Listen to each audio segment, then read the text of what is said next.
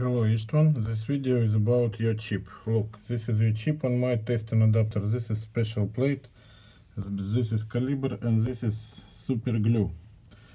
Now I checking your chip on my testing camera.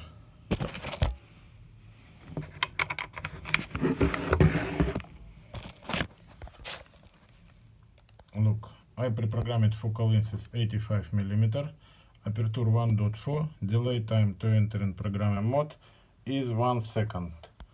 Be very careful with chip and chip will work long long time. You can always reprogram the chip from our programming instruction